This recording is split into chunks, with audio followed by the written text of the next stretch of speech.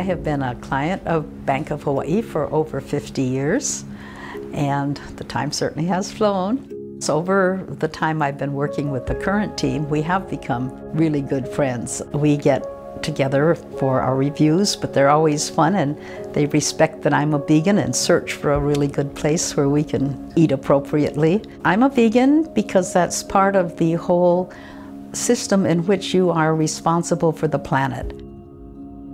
It's really not that hard to do.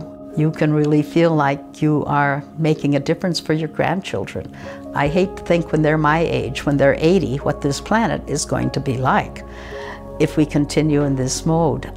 What kind of world are we going to leave them in Hawaii? That's, that's why I'm so concerned on being Pono with the environment, with what I eat, with what I drive, with all of those things. And Bank of Hawaii supports me in that.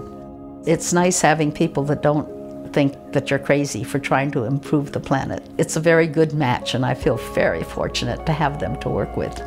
The Bank of Hawaii doesn't have to, obviously knows that for what it's doing with its photovoltaics. It's supporting of all kinds of things that make life more sustainable.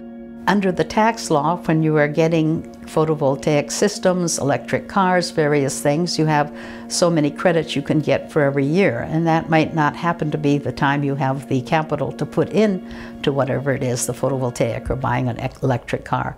And so they have given me the flexibility. I have, I have no problem if it's got to be in by this calendar year. They make sure the money is available and then I am able to take advantage of the um, time limits on those kind of things. I recycle all my food waste with my worm bins. So the liquid goes into watering plants, the worm compost goes into the gardens, and I can eat what comes out of it. And if everybody could just be paying more attention and take care of things like that, we'd have a much greater chance of surviving.